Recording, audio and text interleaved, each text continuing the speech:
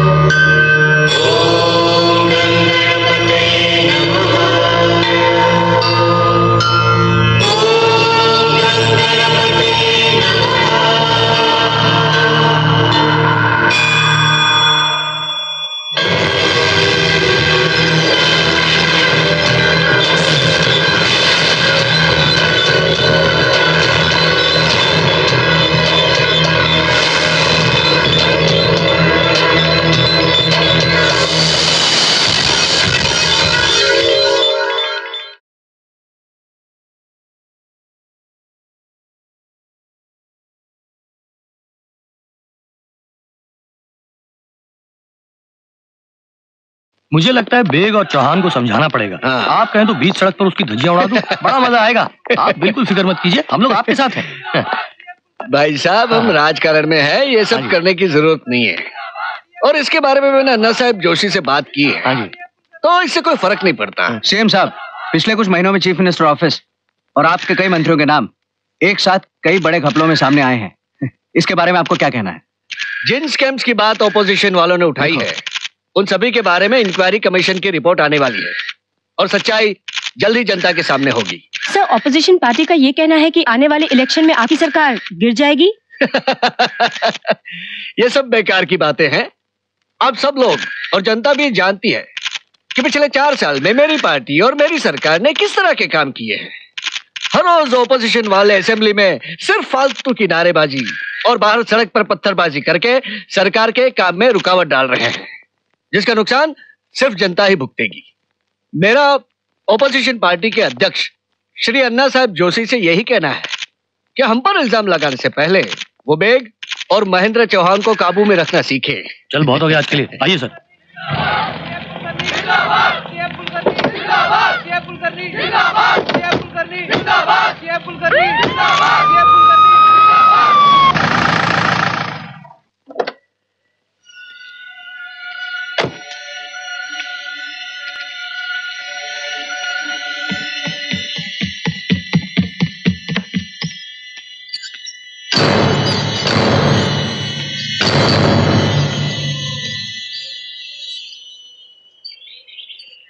चौहान साहब वो कोठारी बिल्डर ने एक बार फिर पैसा देने से मना कर दिया। जानता हूँ। आज पहली बार नहीं हुआ ये। पिछले डेढ़ सालों में चौथी बार हुआ है। सारा पैसा बेग के लोगों को जा रहा है। और तू? ए ठाकुर तेरे को कितनी बार समझाया कि बाबा को टेंशन नहीं देने का? मेरे को बोलना पड़ेगा तेरे को क्या करना है, है? साला। क्यों रे? तेरे पंटर लोग क्या हिजड़ों की तरह इधर उधर घूम रहा है? फ़ोन लगा सालों को? हाँ सलीम। भाई लोग को इकट्ठा कर। कोठारी बिल्डर को टपकाने का है।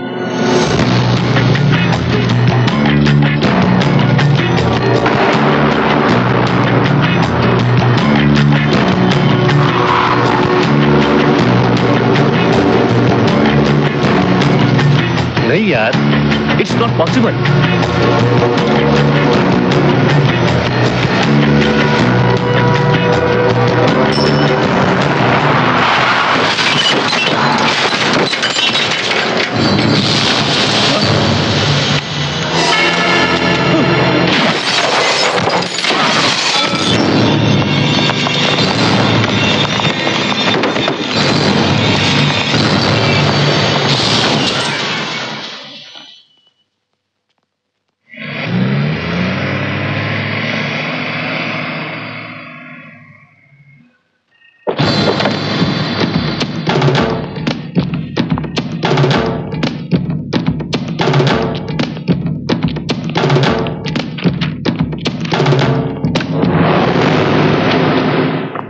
नमस्कार अन्ना साहब नमस्ते। बैठिए बेग साहब।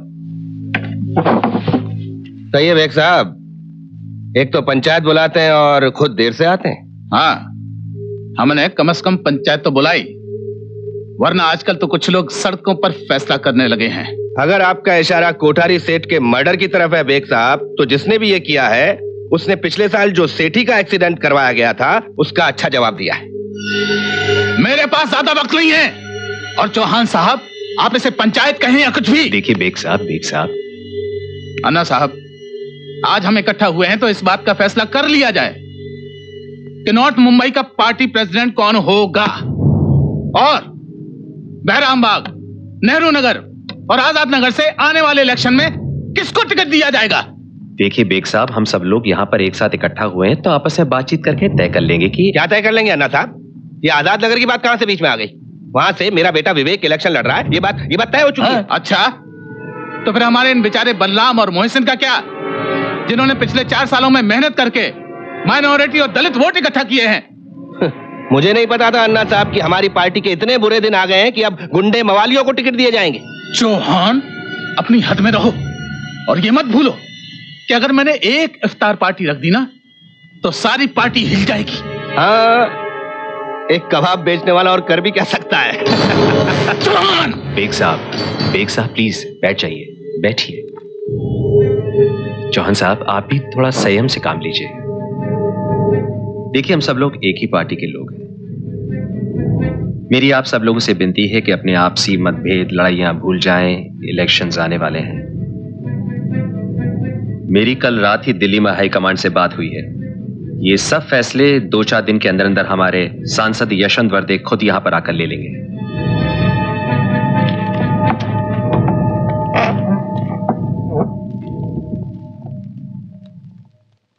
बेग साहब पार्टी हाईकमान का फैसला यशवंत को यहाँ भेजना हमारे मुँह पर तमाचे की तरह है।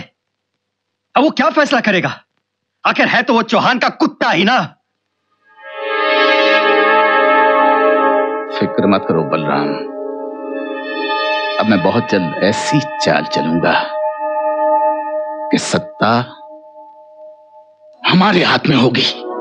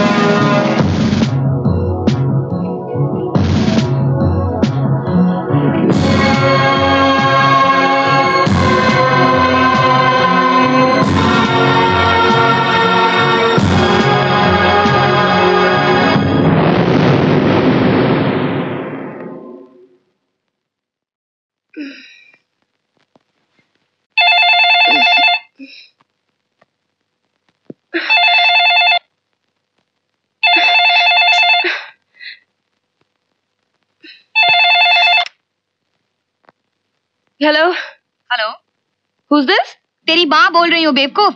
अब तक घर पर ही हो? टाइम नहीं देखा तुमने? क्या टाइम हो रहा है? नौ बज गए। नौ बज गए? ओह शिट फिर लेट हो गई। हाँ। और तेरी वो ट्रांसकॉप की प्रोजेक्ट रिपोर्ट अब तक तैयार नहीं हुई है। You know you have to submit it by 12 o'clock अच्छा ठीक है सर मत खा। मैं जा रही हूँ बाय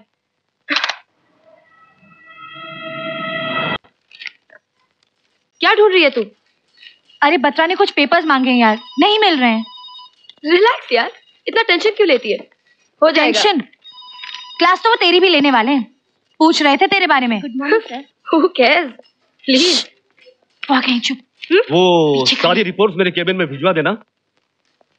और सुनो विशेष केमिकल के साथ मेरे अपॉइंटमेंट फिक्स करना। जी sir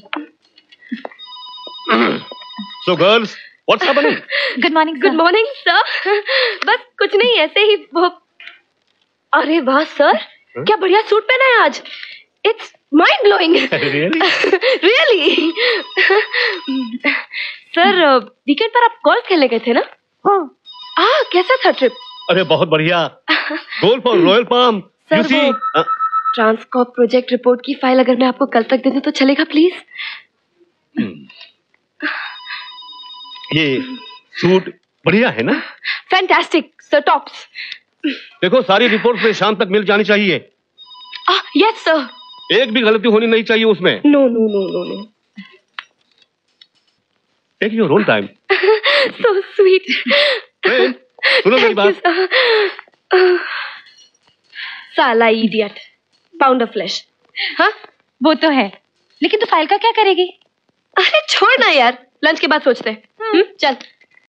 At least we got some free time यार। Yeah, yeah नहीं नहीं very long. so many How about a beautiful mind? हाँ that's a good Let's one. go यार प्लीज़ हाँ क्या यार अमित तुम्हें लगता है सीएम प्रशांत कुलकर्णी इस बार इलेक्शन में जीत पाएगा? अरे मुझे नहीं लगता। सेम टॉपिक से चौहान और बेग ने इस गवर्नमेंट के ऊपर इतने सारे करप्शन चार्जेस लगा दिए हैं उनका टिकना मुश्किल है। और ऊपर से विवेक चौहान ने कुलकर्णी का जीना हराम कर दिया है। व्हाट डू यू थिंक क्या विवेक चौहान एमएलए बनने लायक come on you guys politics के बारे में बात करना बंद करो। उनकी दुनिया अलग है हमारी दुनिया अलग। हमें उस गंदगी से क्या लेना देना? ओ come on Anuradha how can you be so indifferent यार अच्छा तुम्हारी उम्र क्या है? अब इस बात का मेरी उम्र से क्या लेना देना? बता ना तेरी असली उम्र सुनने से ये लड़कियाँ भाग नहीं जाएँगी। सोनी आज। बता ना। छब्बीस साल। छब्बीस साल हुँ? हम लोग वोट करने के लिए एलिजिबल कब होते हैं? अठारह साल के बाद। अठारह राइट राइट अब छब्बीस और अठारह के बीच में रहे आठ साल। हुँ? ये पिछले आठ साल में इलेक्शंस कितनी बार हुए?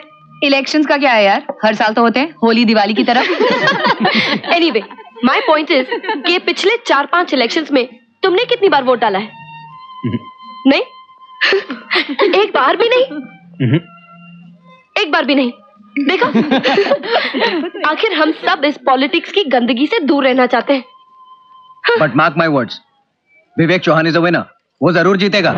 ये सीएम प्रशांत कुलकर्णी की सरकार ज़्यादा दिन टिकने वाली नहीं है। आज मुझे इस बात का गर्व है कि हमारी पार्टी के एक एक कार्यकर्ता ने इस निकम्मी सरकार का पर्दाफाश कर डाला है। हमने ये साबित किया है कि जनता की सेवा की आड़ में कुलकर्णी और उसके मंत्रियों ने सिर्फ़ अपनी तिजोरियाँ भरी है। मैं विवेक चौहान ये कहता हूँ कि अगर उनमें जरा सी भी शर्म बाकी है तो अपना इस्तीफा दे दे। क्योंकि सरकार में रहने का हक वो खो चुके हैं। हाँ हाँ बिल्कुल ठीक बिल्कुल ठीक कह रहे तो मेरे साथ बोलिए सीएम कुलकर्णी इस्तीफा दो। प्रशांत कुलकर्णी मुर्दाबाद।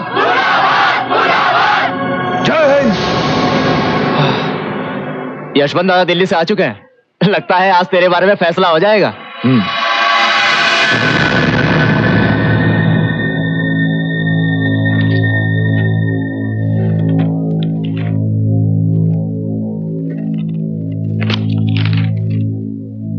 कहिए यशवंत जी। क्या खबर लाए हैं दिल्ली से हमारे लिए? वो तो मैं बताऊँगा, बेग साहब। लेकिन पहले मैं ये बताना चाहता हूँ कि यहाँ के अखबारों और टीवी पर आप दोनों के मतभेदों की जो खबर बार बार आती रहती है उससे पार्टी हाईकमांड बहुत नाराज़ है। देखिए, इलेक्शंस पास आ रहे हैं और हमारी पार्टी की इमेज के लिए ये सारी बातें ठीक नहीं है। पार्टी की एकता बनाए रखने का दारोमदार आपके ऊपर है, Anna Sahab. Anyway party high command ने यह फैसला किया है कि नेहरू नगर और बहरामबाग की टिकटें मिलिंद पाटिल और फातिमा शेख को दी जाएँगी। नॉर्थ मुंबई के डिस्ट्रिक्ट चीफ होंगे बलराम यादव और आज़ाद नगर से इलेक्शन लड़ेंगे विवेक चौहान। पार्टी की एकता के लिए तो हम कुछ भी कर सकते हैं। फिर हाईकमांड का फैसला मानना कौन सी बड़ी बात है? लेकिन एक बात ध्यान में रखी जाए बार बार फैसले हम पर थोपे ना जाएँ। लियाकत अली बेग, हर बार कंप्रोमाइज नहीं करेगा पार्टी हाईकमांड की यह गुजारिश है कि प्रेस और कार्यकर्ताओं के सामने आप दोनों मिलकर ये अनाउंसमेंट करें कि आप में कोई आपसी मतभेद नहीं है, ताकि किसी को कुछ कहने का मौका ना मिले जहाँ तक हमारे मतभेदों का सवाल है तो ये कोरी अफवाह है। र्यूमर है ना? जी बिल्कुल। रूलिंग पार्टी की चाल है और मीडिया के उछाले हुए फालतू के चर्चे हैं। क्यों चौहान साहब? जी हाँ बेग साहब। और एक बात मैं आप लोगों को साफ़ साफ़ शब्दों में बता दूँ कि आने वाले इलेक्शन में मैं और बेग साहब साथ मिलकर काम करने वाले हैं। धन्यवाद। नमस्कार। नमस्कार। आइए साहब। जैसा कि आपने देखा एक तरफ़ तो रूलिंग पार्टी पर इल्ज़ाम है तो दूसरी तरफ़ मतभेदों की अफवाह। सत्ता का बाज़ार बिल्कुल गर्म है। मैं विनाश प्रकाश न्यूज़ इंडिया से। लो स्वीट डिश खाओ। हम्म। खाना कैसा लगा यशवंत? लाजवाब माँ जी बड़े दिनों के बाद घर का खाना खा रहा हूँ। अरे बाबा मैंने सुना आज विवेक ने मोर्चे में बहुत अच्छा भाषण दिया। हम्म। ये तो शुरुआत है। दादा मुझे पूरा यकीन है इस बार हमारी पार्टी की सरकार ज़रूर बनेगी। वो सब ठीक है बेटा लेकिन एक बात का ज़रूर ध्यान रखना। तुम्हें अपने एरिया के अलावा दूसरी जगहों पर भी कंसंट्रेट करना है। इस बेग का कोई भरोसा नहीं है। एन वक्त पर धोखा देने वालों में से है ये। बाबा बिल्कुल ठीक कह रहे हैं विवेक यहाँ गोयल मिला था I am busy I call you back later अच्छा तुम लोग बैठो मैं चलता हूँ। मुझे सुबह जल्दी निकलना है पूना। वो होटल की प्रॉपर्टी की डीलिंग करने। बैठो बैठो बैठो विवेक अब पॉलिटिक्स की बातें बहुत हो चुकी है और तुम्हारा नॉमिनेशन भी हो चुका है। वक्त आ गया तुम शादी के बारे में सोचो। क्या माँ आप भी शादी के पीछे पड़ी है। अब दो तीन साल तो मुझे करियर पर कंसंट्रेट करना है। और ये सब बातें सोचने के लिए मेरे पास टाइम ही कहाँ है? अच्छा घर के बाहर तुम्हारी जितनी हरकतें होती रहती है ना सब जानती हूँ। अरे बाप रे दादा। लगता है माँ ने मेरे पीछे सीबीआई छोड़ रखी है। विवेक इस घर के बाहर तुम जो मर्ज़ी करो। लेकिन एक बात का ध्यान रखना इस घर में जो लड़की आएगी वो मेरे हिसाब से आएगी। अरे माँ जी आप क्यों चिंता कर रही हैं? विवेक बहू आपकी मर्ज़ी से ही लाएगा। हाँ? चलिए मैं चलता हूँ। अपना ख्याल रखना यशवंत। जी। आइए दादा। विवेक एक बात का ख्याल रखना। अब तुम एमएलए बनने जा रहे हो। चाहे कुछ भी करो लेकिन अपने इमेज का ख्याल रखना। जी दादा। देखो Vivek we politicians have a certain reputation which we have to protect. I understand दादा। Good. Bye. Thank you bye. घर चलो। For exclusive classic movies download Shemaroo me app now